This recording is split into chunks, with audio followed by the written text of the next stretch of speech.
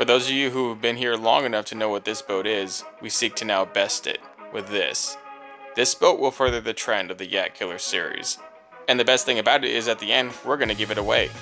Because we got this boat for free. It was donated to us by a really nice couple who saw the channel and thought we could restore it and give somebody else a nice boat.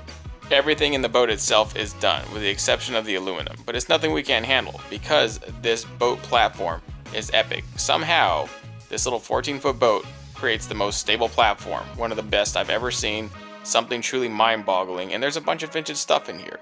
We're able to put a lot of cool things, some things are budget, some things were new and trending and innovative. We're to go ahead and give it away to Ben here, because he's awesome. He's an OG tiny boater, He's been around here in Havasu and he's solid. 100% flake free, unlike some people.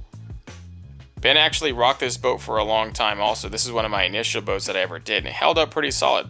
But as things trend and times change, this thing became old news and now we're ready to upgrade to something pretty epic. Because this boat was given to me, I was able to think freely and modify everything at my time and my pace and be really creative. So between a series of choices between economic choices and really new and innovative trending choices for a boat this size, I think we really did a pretty fantastic job. There's things we accomplished in this boat, and I don't even understand how we accomplished some of them. It still mind boggles me how this boat came out so utterly stable. It's so ridiculous. For a boat this small, it came out super epic with everything. You gotta stay tuned and watch the entire video.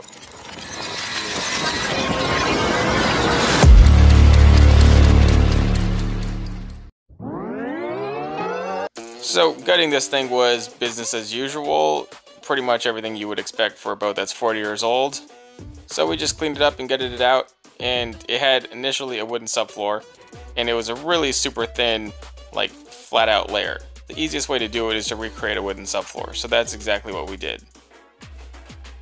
We preserved and carpeted a half inch piece of plywood and we laid it back in there and that gave us a pretty good platform to mount pretty much the entire frame on.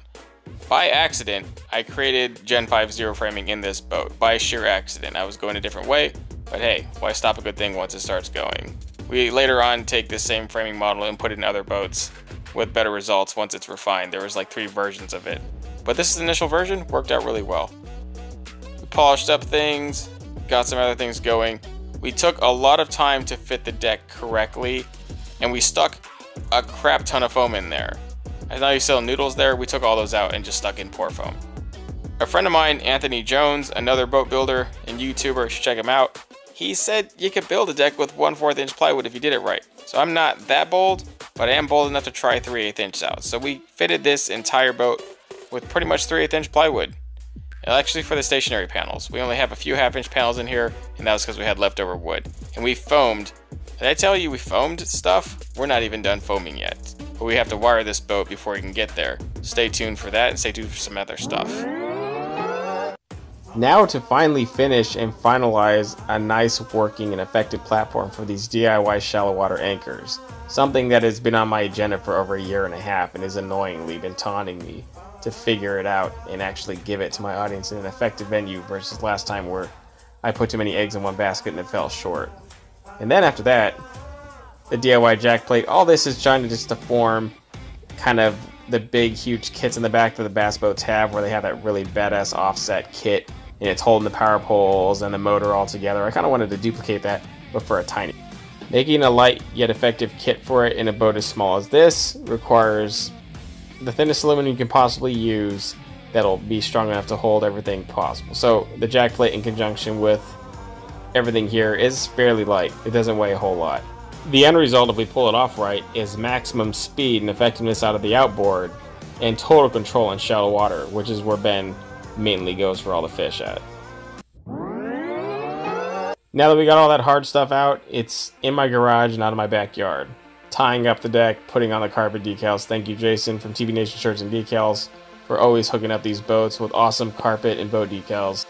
At this point in time, we're just fine tuning and putting in all the add-ons. That's either the easiest or the hardest part of the boat for a lot of people.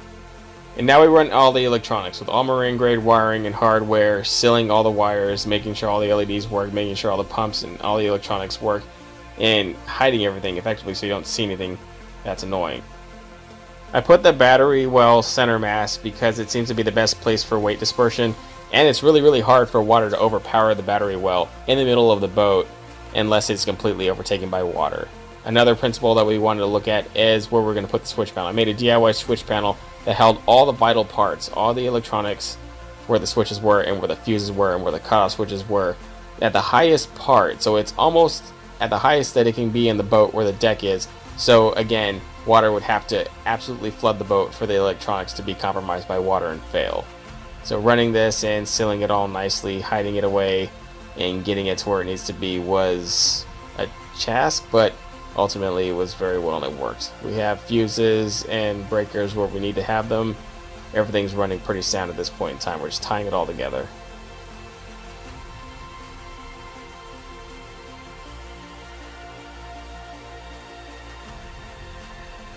The bow piece, restoring that was so much fun. It was all like non-stainless steel hardware, so it was rusted all together. There was residual carpet. You had to take that wood piece off. And we framed it all together so it's all aluminum with gator skins rubbed on top. And we made our own little connection panel in there that would hold everything, be able to hold the trolling motor plug, and then hold the switch for the power poles. And we're tying everything in here, just last minute stuff. Adding the VT2 systems, adding the pour foam in the back, adding some other things, and just getting this boat ultimately ready to go to water. This boat was not able to be put on the water at the time that I received it, so slightly sketched about how it's going to handle on the water. But experience tells me that it'll handle fine, and soon enough time will tell. And just in case you're wondering, no, you cannot have too much foam in the boat. Every little open void and cranny you want to be putting that stuff in there. Pretty exciting to get the boat this far. To get everything repped and ready and just a lot of anticipation because we don't know how it's going to do on the water, how it's going to float. We can only anticipate that after a bunch of experience of doing these things that it's going to do fine. But you know what they say about assuming.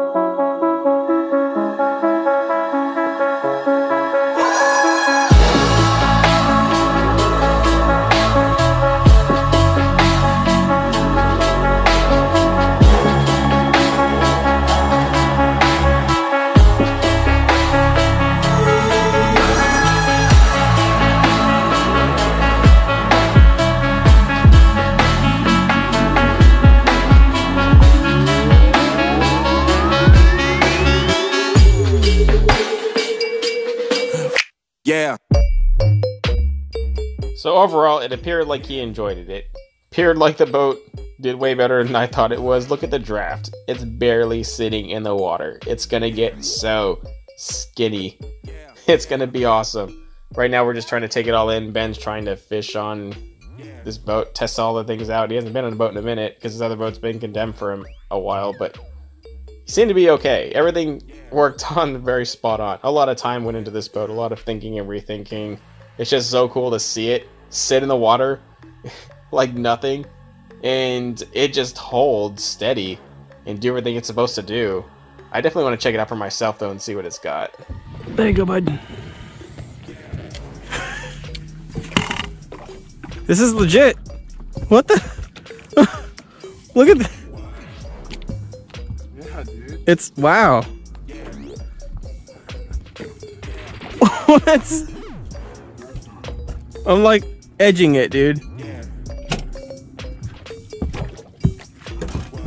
Insanity. what? You don't even need a butt seat. Yeah, I'm gonna drive. I'm just, I'm just in awe on how stable it is.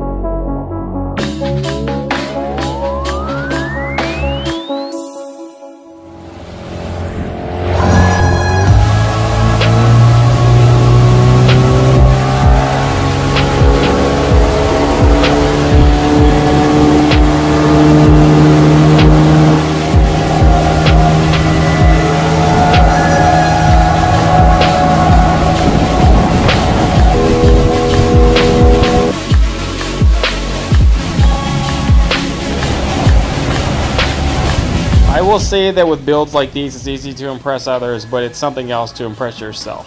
Now, I am thoroughly not only impressed but surprised at how well the boat handles. If there's another 14 foot boat out there like this, I want to see it. Until then, tight lines everyone. Good luck with your projects. Thank you for helping support this build. Thank you to my patrons. Thank you to everybody who used my store. Thank you for the people who donated this boat. You all are awesome. Thank you so much.